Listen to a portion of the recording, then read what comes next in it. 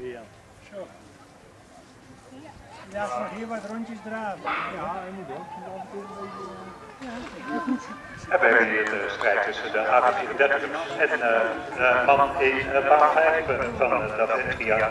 Jamil van Veen, je probleemlossen lijkt het, over de orde snel. En in een tijdfinish van 587.